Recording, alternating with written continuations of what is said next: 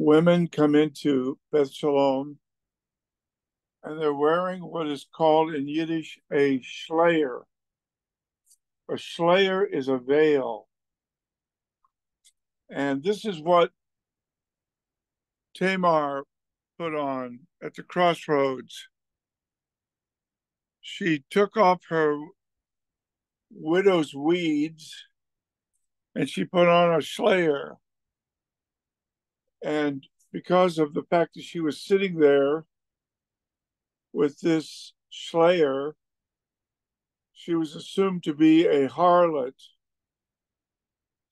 What she was doing, however, was fulfilling the Levirate uh, law because her first two husbands, uh, actually the brother of the of the of the first husband, did not fulfill the duty, and Yehuda had promised his third son, but when the boy grew up, he did not fulfill the promise.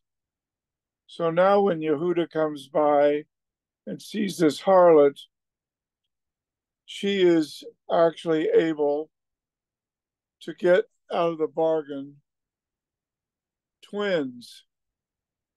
And one of them we know from the uh, genealogy and from uh, Ruth, the book of Ruth.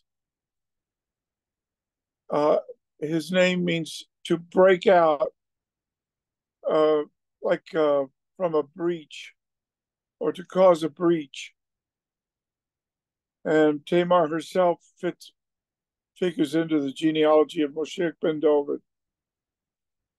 And the point that we're making is even to this day, when Moses is read, there is a veil. There is a veil, a schleier. The word is Sheen Lamed Yod Yod Ayin Resh. S H L E I E R, Slayer. There's a Slayer covering the hearts of the hearers. And when he came from the Galilee, he came as a humble Galilean peasant rabbi and many could not see beyond that. And the yeshiva bochers who boasted in their knowledge and in their standing and in their chief seats and their titles looked down their noses at him and were jealous of him and could not see who he was. And very often, God hides himself from us when our hearts are not right. And here was Yehuda, and he had wronged this woman. And now he could not see that it was this woman that was sitting by the road because of the veil. And there's a veil that you must get past.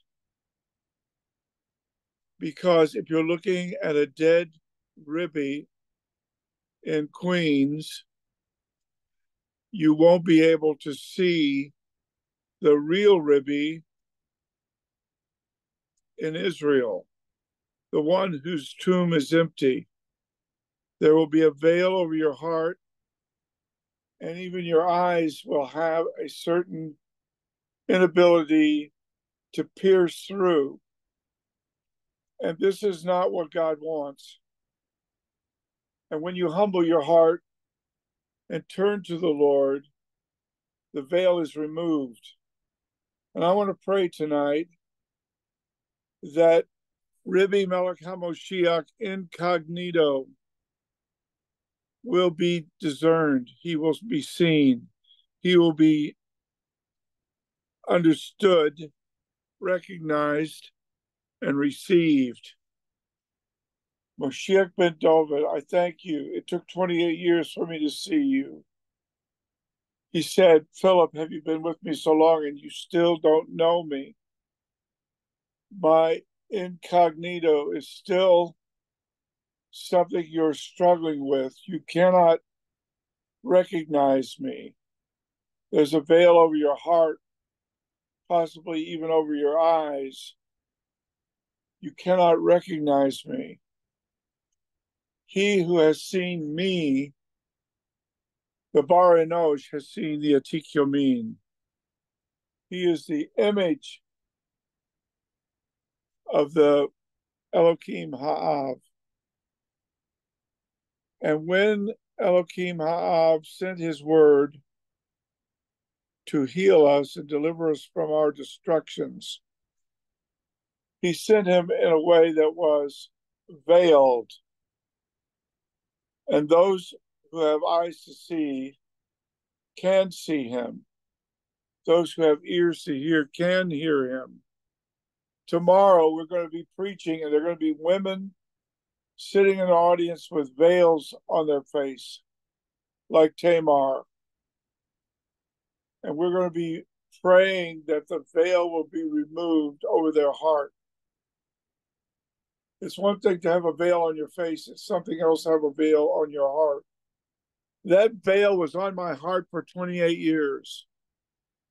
It was not until my heart was broken by the preaching that convicted me when I had come to the end of myself, when I saw the corrupt condition of my life, when the Lord finally opened my eyes to see how lost I was, how much in trouble I was with a holy God who is an impartial judge. And then the Lord brought me to a place where I could cry out. And whoever cries out, whoever calls on the name of the Lord will be saved.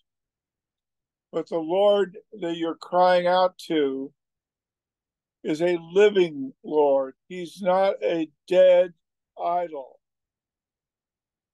He is real. He is alive. But he is in some sense incognito. This woman took her widow's weeds, her widow's garment off. She changed clothes and she put on a veil, a slayer, and she went down to sit where she knew Yehuda would see her. She was incognito and the very one that he had an obligation to, he could not recognize. My friend, you have an obligation to Yeshua HaMashiach. It's not his fault that you don't recognize him, it's your fault. And Yehuda said, It's not her fault, it's my fault. You have to see whose fault it is that you're not turning to the Lord. And these people with so called Jews for Judaism, which was really founded by Rav Shaul of Tarsus, who find fault with the Savior, but don't find fault with themselves. They are in the same guilty position as Yehuda.